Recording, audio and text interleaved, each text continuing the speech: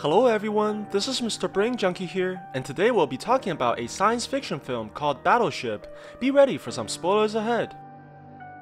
In the efforts to find alien life beyond Earth, humanity has identified an Earth-like planet in a nearby solar system that's capable of sustaining life. Observation and communication labs are set up in Hawaii, where a giant satellite that orbits Earth every 24 hours can amplify the station's signals and send it towards the faraway planet. The world watches as humans begin the first step in reaching out towards our solar system, and the satellite fires the signal into the unknown. Alex Hopper is a US Navy weapons officer, and his girlfriend Samantha demands that he speaks to her father about their relationship. It should be an easy task, except her father, Terrence, is the Admiral of the US Navy and the one who taught Batman ninjutsu. On top of that, Alex manages to be late for their first meeting in the opening ceremony of the naval exercise and leaves a less than stellar impression with his soon-to-be father-in-law. It turns out that the man has a persistent habit of being undisciplined, and the Admiral is extremely unhappy with his performance, threatening to terminate his position. At the same time, Samantha is given a client whose name is Mick, and he used to be a colonel in the US military, but lost both of his legs during combat duty.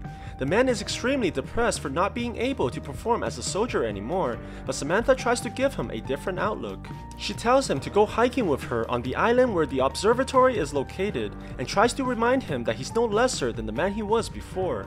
Meanwhile, a gigantic asteroid is heading towards Earth and eventually splits into five pieces after passing through Jupiter. The Department of Extraterrestrial Contact notices the incoming objects and they realize that the asteroids are showing what appears to be a formation, suggesting intelligence. He alerts the observatory in Hawaii and tells the scientists there that the objects are heading their way. One of the incoming spaceships crashes into a satellite and steers off into a different path while the rest proceeds to fly towards the Pacific Ocean. Samantha notices four objects in the sky and they crash into the ocean nearby, creating huge waves in the waters. The single spaceship flies towards Hong Kong and crashes into the population center where the people panic as the buildings topple on top of them.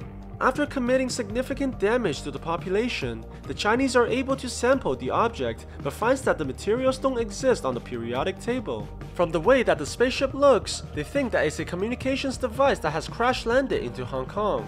On the other side, the Admiral receives the warnings from Pearl Harbor about the foreign entities nearby, but when he looks into the radar, nothing appears to be present. He orders three battleships, which includes Alex and his brother Stone, to exit formation and approach the supposed location. They send a team towards the alien objects to investigate, and the main character decides to board the ship after failing any meaningful contact. He touches the outer wall of the machine, but gets thrown back by a shock that sends him flying into the waters. The team quickly helps their friend, but notices that giant laser beams are shot towards the sky, creating what appears to be a shield around the area.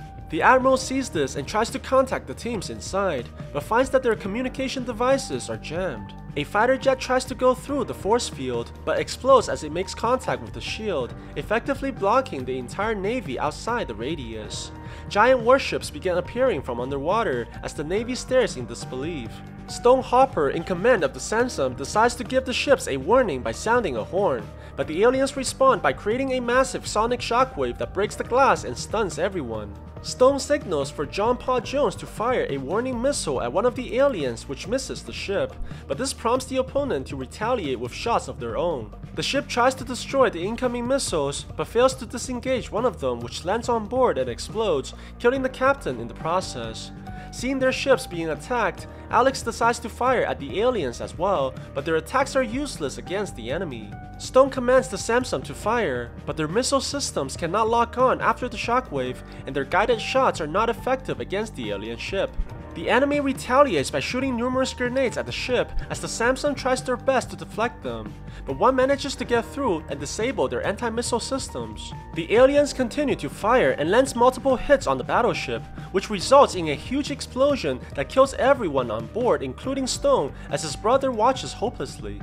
Alex demands to go back to the John Paul Jones, but upon returning, realizes that all the senior officers are dead, leaving him to be the person in charge. After just witnessing his brother die at the hands of the aliens, he orders the ship to engage and attack. The Japanese warship Myoko, commanded by Captain Nagata, tries to back up Alex by firing at the enemy as well, but the aliens shoot back with numerous grenades and disables the ship with a huge explosion. Despite the impossible odds, Alex commands their ship to head towards the aliens and plans to ram into them in order to avenge his brother. The crew tells their captain that it's suicide and that they should save the people on Myoko which is sinking rapidly. After Walter continuously reminds Alex of the dying sailors, the main character snaps out of his vengeance and orders them to save Captain Nagata and the drowning sailors. Surprisingly, the aliens have also ceased fire after seeing the battleship retreat to the other direction. However, the giant structure in the ocean begins assembling multiple shredding machines and fires them towards the harbor as another vessel leaves the area as well. Two of the Shredders head towards the military base and proceeds to wreak havoc on the weapons aboard, destroying everything in sight. The third machine arrives at the population center and takes down the entire highway system by collapsing the bridges. Alex arrives at Myoko and tries to save as many people as possible, but is shocked by the chaos of the situation as Nagata shouts at him furiously for attacking rashly. At the same time, Samantha notices the alien vessel arriving at the island and landing inside the observatory, planning to take over the place. The police notices the two and warns them to get off the island as they're on the edge of the battlefield. Instead of retreating, Mick decides to head towards the aliens and figure out what's really happening, despite Samantha's protest. On the other side, the crew of John Paul Jones managed to capture an alien that was drowning inside the ocean. They proceed to take off the creature's helmet and is surprised to see a humanoid that closely resembles people on Earth. Suddenly, the alien jumps up and grabs Alex, creating a telepathic link with him that shows the civilization's previous history of attacking other planets. An explosion occurs on the outer walls that knocks everyone onto the floor, and numerous other aliens arrive to rescue their comrade while the people are stunned.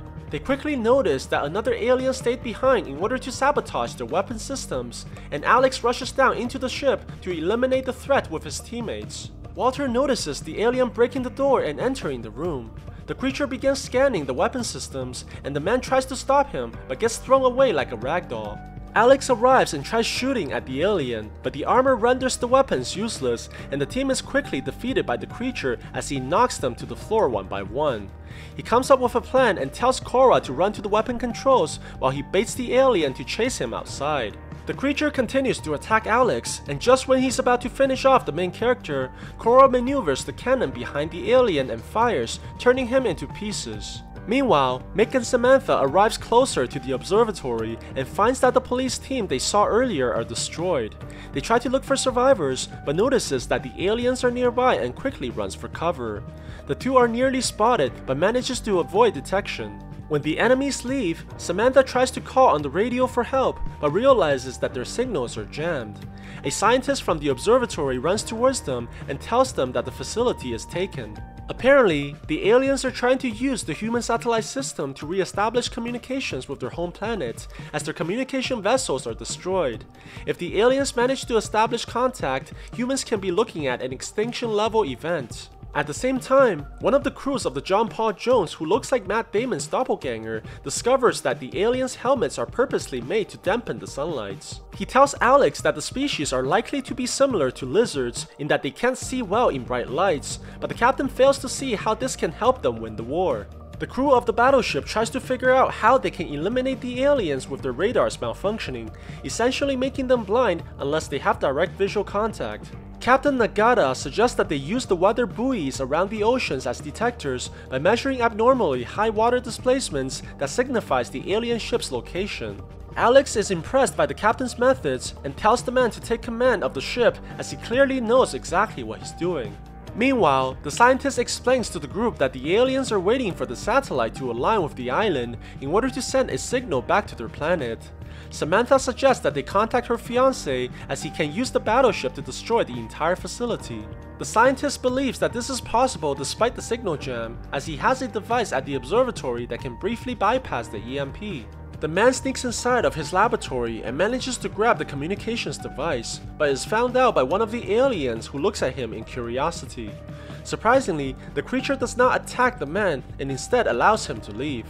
The scientist runs back to Samantha and they manage to establish a signal to the John Paul Jones. Samantha tells Alex that they have to destroy the observatory before the aliens can send back a signal, and they only have 4 hours before the satellite aligns with the island.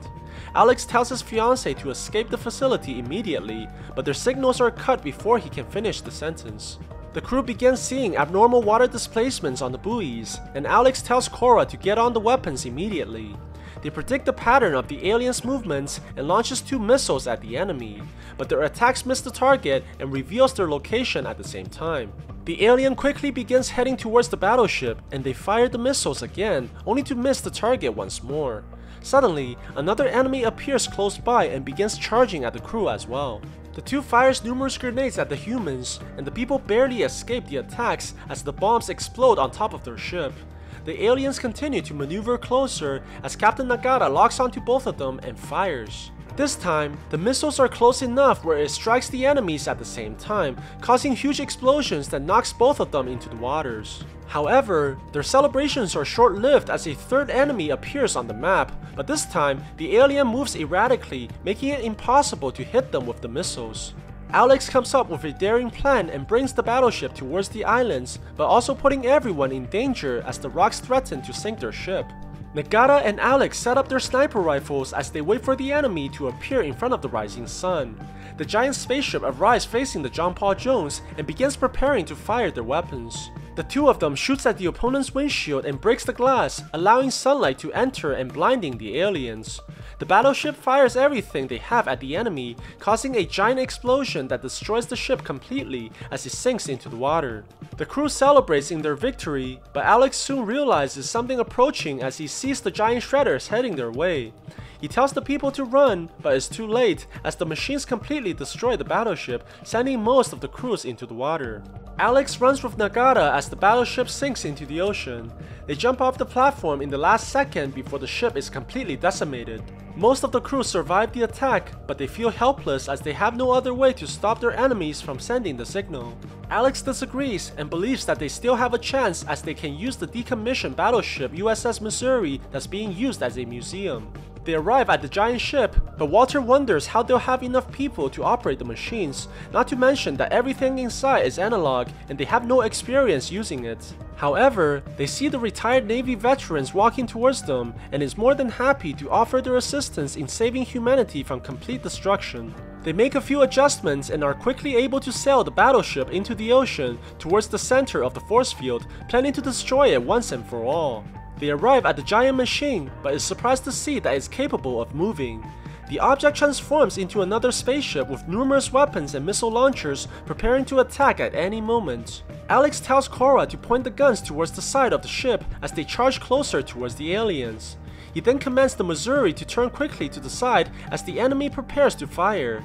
The aliens aim at the crew and targets their location, shooting a barrage of grenades. Suddenly, Alex yells to throw the anchors and the massive weight lands into the ocean, stopping the ship and drifting its body towards the aliens and dodging the grenades that were fired. The battleship points towards the enemies and begins firing everything they have, landing numerous hits on the aliens as they destroy the giant machines creating the lasers. The entire shield collapses around the area, and the Admiral commands the fighter jets to attack the aliens right away. At the same time, the enemy begins firing out the signals in the observatory as the satellite moves closer towards aligning with the island. The battleship fires their final round at the communications facility as the aliens on the ocean tries to stop the humans by sending the shredders towards them.